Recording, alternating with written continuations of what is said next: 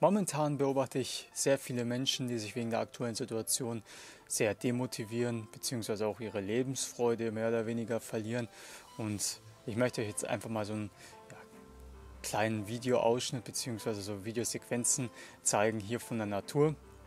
Jetzt schon langsam es immer wärmer wird, stetig, es ist nicht mehr so kühlerisch und regnerisch, hoffe ich jetzt auch die nächste Zeit, aber jedenfalls sehe ich hier immer mehr Wildbienen, Vögel und Schmetterlinge, es blüht langsam alles, die Natur erwacht immer mehr und daran möchte ich euch einfach teilhaben, damit ihr einfach euch von dem großen Theater da im Außen nicht so mit reinziehen lasst, sondern auch mal das, äh, ja, das Kleine und das Innere beobachtet. Denn die kleinen Dinge sind meistens die, die auch am meisten Freude bereiten.